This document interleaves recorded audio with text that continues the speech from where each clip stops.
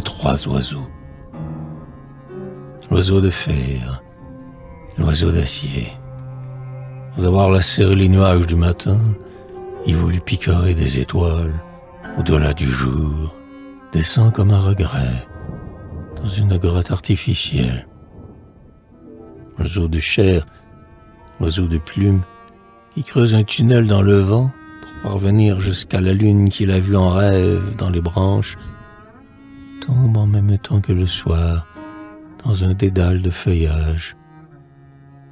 C'est lui qui est immatériel, lui, charme le gardien du crâne avec son chant balbutiant, puis ouvre des ailes résonnantes et va pacifier l'espace pour n'en revenir qu'une fois éternelle.